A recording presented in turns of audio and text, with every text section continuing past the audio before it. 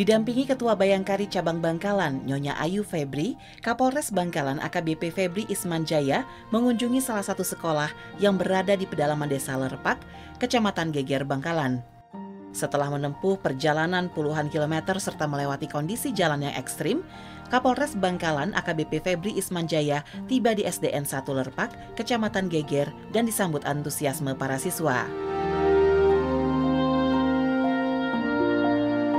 Sebelum menyerahkan bantuan, Kapolres Bangkalan AKBP Febri Isman Jaya menyampaikan bahwa bantuan diberikan atas dasar kepedulian untuk dunia pendidikan.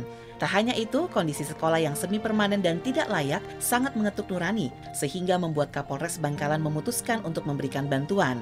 Dengan dibagikannya alat tulis baru, diharapkan para siswa dapat lebih giat lagi dalam mengemban pelajaran di sekolah. Tim Humas Polres Bangkalan Polda Jawa Timur melaporkan untuk Polri TV.